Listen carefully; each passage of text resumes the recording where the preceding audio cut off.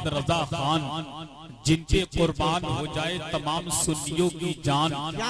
سبحان اللہ زور سے بولتے مسلمان قلم اٹھاتے ہیں، بارگاہ نبی میں عرض کرتے ہیں اور فرماتے ہیں کہ سرور کہوں کہ مالکو مولا کہوں تجھے۔ اپنے۔ نبی کا نام اپنے لبوں پر سجائیں اور محبت سے کہیں یا رسول اللہ۔ یا رسول اللہ۔ کہ سرور کہوں کہ مالکو مولا کہوں تجھے۔ باغ خلیل کا گلے زیبا کہوں تجھے۔ تیرے تو وصف عیب تناہی سے ہیں بری۔ حیران ہوں میرے شاہ میں کیا کیا کہوں تجھے۔ لیکن تانے ختم سخن اس پہ کر دیا خالق کا بندہ خلق کا آقا کہوں تجھے؟ سبحان اللہ خالق کا بندہ خلق کا آقا کہوں تجھے؟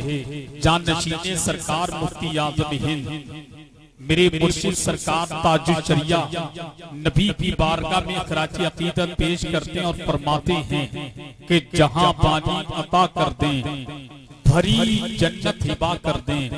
ذرا تاج الشریعہ کی محبت میں کہیں یا رسول یا اللہ رسول اللہ کہ جہاں پانی عطا کر دیں بھری جنت ہبا کر دیں۔ نبی مختار کل ہیں جس کو جو چاہے عطا کر دیں۔ اور جہاں پہ ان کی چلتی ہے وہ دم میں کیا سے کیا کر دیں۔ زمین کو آسمان کر دیں سریا کو سرا کر دیں۔ وہ مقدر کا سکندر آدمی ہو جائے گا۔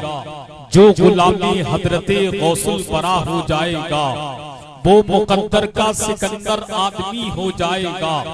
جو غلامی حضرت غوث البرا ہو جائے گا جس کو دے دیں گے سہارا حشر میں غوث البرا وہ جہنم سے بچے گا جنتی ہو جائے گا۔ سبحان اللہ سبحان اللہ۔ جس کو دے دیں گے سہارا حشر میں غوث البرا وہ جہنم سے بچے گا جنتی ہو جائے گا۔ سنانے اپنی بربادی کی افسانے کہاں جاتے؟ تیرا در چھوڑ کر خواجہ یہ دیوانے کہاں جاتے؟ ذرا اللہ، سبحان کریم اللہ۔ کی محبت میں کہہ دیں یا رسول اللہ کہ سنانے اپنی بربادی کے افسانے کہاں جاتے؟ تیرا در چھوڑ کر خواجہ یہ دیوانے کہاں جاتے؟ ہمیشہ بھیک ہم نے تو اسی چوکٹ سے پائی ہے۔ ہم اپنا دامن امید پھیلانے کہاں تمہارے سبحان سر۔ پہ خواجہ تاج ہے مشکل کشائی کا۔ ہم اپنی الجھنے اوروں میں سلجھانے کہاں جاتے؟ ہم اپنی الجھنے اوروں میں سلجھانے کہاں جاتے؟ سید کونین کا جس کو گھرانا چاہیے، اس کو خطبے دو جہاں کے پاس آنا چاہیے۔ آپ کی توصیف لکھنے کے لیے قطب المدار بالیقین اہل قلم کو ایک زمانہ چاہیے۔ آپ کی توصیف لکھنے کے لیے قطب المدار بالیقین اہل قلم کو ایک زمانہ چاہیے۔ خیالوں ہی خیالوں میں کہاں جاتے؟ ہیں دیوانے۔ کبھی بغداد رہتے ہیں کبھی اجمیر رہتے ہیں۔ بلائیں اس لیے اس شہر کی جانب نہیں جاتی کہ پیلی بھیت میں شاجی محمد شیر رہتے ہیں، بلائیں اس لیے اس شہر کی جانب نہیں جاتی کہ پیلی بھیت میں شاجی محمد شیر رہتے ہیں۔ مر کے بھی زندہ خدا والے رہا کرتے ہیں۔ علاء الدین صابر کلیری کی محبت میں کہہ دیں یا رسول اللہ کہ مر کے بھی زندہ خدا والے رہا کرتے ہیں۔ خود جنازے کی امامت بھی کیا کرتے ہیں۔ بول پڑے باتیں جنازہ یہ کلیر کے فقیر اس کو کہتے ہیں پنا اس کو بقا کہتے ہیں۔ بول۔ پڑے باتیں جنازہ یہ کلیر کے فقیر اس کو کہتے ہیں پنا اس کو بقا بقا کہتے ہیں۔ آج یہ حضرات سب سے پہلے اللہ کے نبی کی بارگاہ میں محبت کی تھالی میں درود پاک کی ڈالی سجا کر پیش کریں۔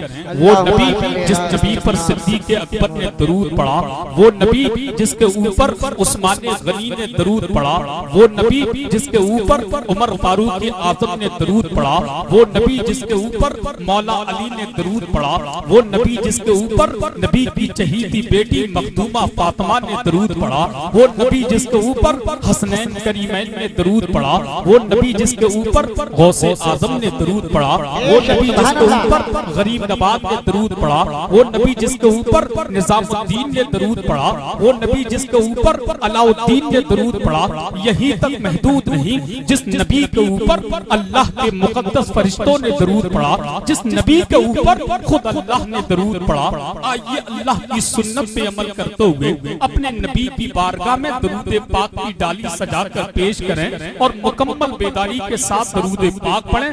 علی مولانا محمد وعلا آل سیدنا سیدنا مولانا محمد مبارک وسلم صلاة و سلامت علیکہ یا رسول اللہ صلی اللہ علیہ وسلم۔ حضرات ایک مرتبہ اور حصول برکت کے لیے نبی آل نبی کی بارگاہ میں ایک مرتبہ اور درود شریف پڑھ لیں۔ اللہم اللہ صلی سیدنا مولانا محمد وعلا آل سیدنا مولانا محمد وسلم۔ علیہ حضرات میں سب سے پہلے دل کی عطا گہرائیوں کے ساتھ مبارک بات پیش کرتا ہوں، محترم علی جناب تسلیم خان قادری کو، جنہوں نے اس عظیم محفل پاک کا اہتمام انتظام کیا۔ اللہ سے دعا ہے کہ رب قدیر اس محفل پاک کو اپنی بارگاہ میں قبول فرمائے۔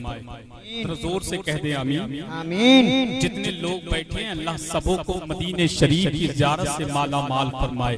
حضرات وقت کافی ہو چکا ہے نماز عشاء سے اب تک سناخانی مصطفیٰ سے نام اور منقبت کے خوبصورت اشعار سماعت کر رہے تھے۔ جیسا کہ آپ تمامی حضرات نے سب کے نام پوسٹر میں پڑے ہی ہوں گے۔ ایک مرتبہ مجھ سے سماعت کر لیں۔ آج کے جشن غوث برا کانفرنس میں آپ کی مقدس زمین کے ممبر شریف پر ملک ہندوستان کے وہ نامور مشہور و معروف شورا اور خطبہ تشریف لا چکے ہیں۔ جن میں سب سے بڑی خوشی بات یہ ہے، اس عظیم کانفرنس میں جس غوث پاک کی محفل آپ سجائے ہیں اسی غوث پاک کا مقدس شہزادہ، جن کی رگوں میں آقا حسین کا خون ہے، جن کی رگوں میں غوث آدم کا خون ہے، اس کو دنیا سنیت، خطیب اہل سنت، ترجمانی مسلکی اعلی حضرت، اولاد غوث آدم نباس رسول، چمن زہرا کے پھول، حضرت علامہ اشاہ سید عرفان رسول قادری، ان کی آمد آپ کی مقدس زمین پر چند ہی لمحوں کے بعد ہونے والی ہے۔ انشاءاللہ حضرت کے نورانی چہرے کی زیارت کریں گے زیارت کرنے کے ساتھ ساتھ حضرت کی نورانی عرفانی حقانی تقریر بھی سماعت کریں گے۔ وہیں پر جماعت اہل سنت کا ایک انمول خطیب جو کافی دیر سے آپ کے شہر محبت میں تشریف فرما ہو چکا ہے جن کو دنیا خطیب بے نظیر آسمانی خطابت کے بدر منیر بدقیدوں کے لیے شمشیر حضرت علامہ اشاہ قاری شہادت حسین قادری بریلوی وہ بھی تشریف لا چکے ہیں انشاءاللہ ان کی بھی تقریر ہمیں اور آپ کو سماعت کرنی ہے۔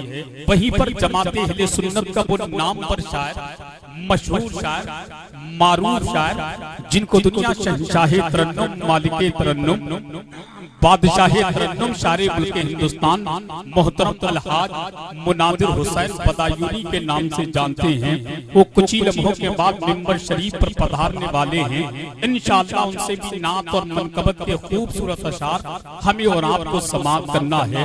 وہیں پر بہڑی شریف کی مقدس زمین کی وہ انمول آباد، جن کو دنیا شہنشاہ ترنم، مالک ترنم شار ملک ہندوستان، محترم اسلام نظامی بہڑی صاحب قبلہ وہ بھی تشریف لا چکے ہیں۔ ان کے علاوہ اور بہت سارے لوگ ممبر شریف پر تشریف فرما ہے وقت بہت کم ہے کام بہت زیادہ ہے۔ اس لیے میں چاہتا ہوں ان لوگوں کی تعریف نہ کر کے بلکہ کسی مہمان کو آپ کی سماعتوں کے حوالے کیا جائے۔ مگر ان کے آنے سے قبل ذرا ماحول بنا لیں اور جتنے مہمان اپنے گھروں میں آرام کر رہے ہیں یا پھر